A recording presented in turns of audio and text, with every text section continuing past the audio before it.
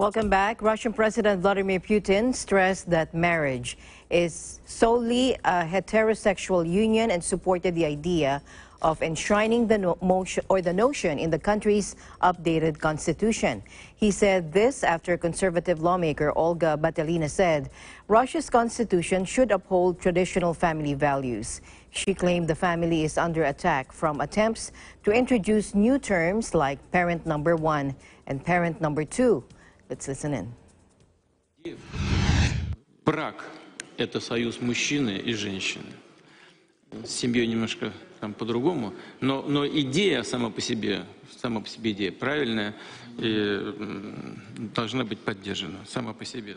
Что касается родителя номер один, э, родителя номер два, я уже как-то публично говорил, и повторю еще раз, пока я президент, у нас не будет родителя один, будет папа и мама. Batalina, a senior lawmaker in the majority United Russia Party, has lobbied for Russia's ban on foreign adoptions and a gay propaganda law.